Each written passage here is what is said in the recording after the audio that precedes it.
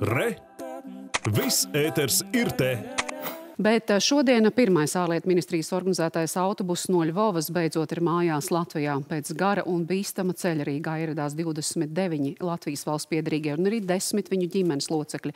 Pirmajos iespaidos pēc šī ceļa ieklausījās Tīna Sidaroviča. Kas tam mums iekāpjam autobusu atbraucam? Pēc divām diennaktīm autobusa krēslos neviens no atbraucējiem par grūto ceļu nesūdzējās. Es no sākuma ar saviem spēkiem braucu, bet, kad es nokļuvu autobusā, tad nu, galīgi bija mierīgi. Man kopā kādas trīs dienas, bet vismierīgāk jau ir autobusā. Ceļš no Ukrainas vedis cauri Slovākijai, jo tobrīd, kad šķērsoja valsts robežu, tur esot bijusi mazākā rinda. Pēc atgriešanās mājās un notikušā aptveršanas jādomā, kā palīdzēt Ukraiņiem.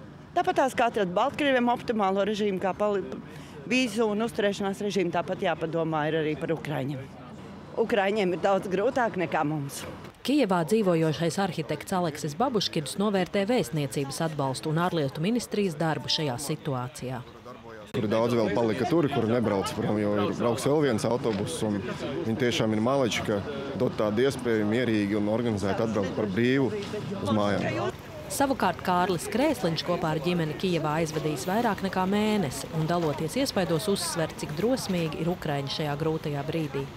Patīkami bija satikt cilvēkus, kas saprot, kas ir savā valsts un par ko viņi ir gatavi cīnīties.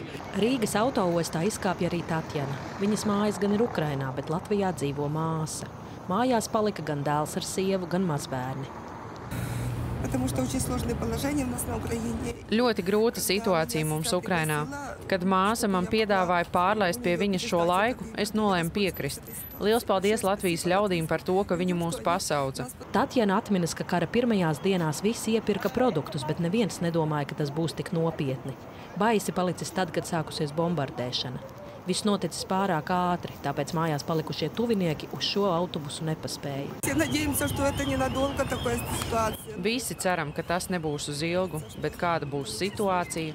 Paredzams, ka otrais autobus no Ļuvovas Latvijā iebrauks ap pusnakti. Tīna Sidoroviča, Viktorija Puškele Otto, Olavs Perševits, Latvijas televīzija.